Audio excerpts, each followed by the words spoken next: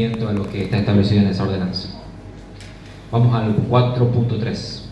Mensaje y proyecto de ordenanza presentado por el Departamento Ejecutivo Municipal propiciando modificar el artículo 1 de la ordenanza 4161, aceptación de transferencia a la Municipalidad Capital de un inmueble, expediente número 10746-DE-18.